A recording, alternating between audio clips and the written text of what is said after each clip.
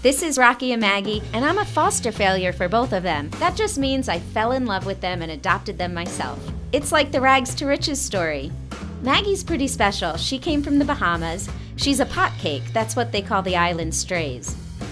Rocky is a rescue from Kansas, and he's like a therapy dog for other dogs. He immediately knew his job was to make the other fosters feel safe and happy.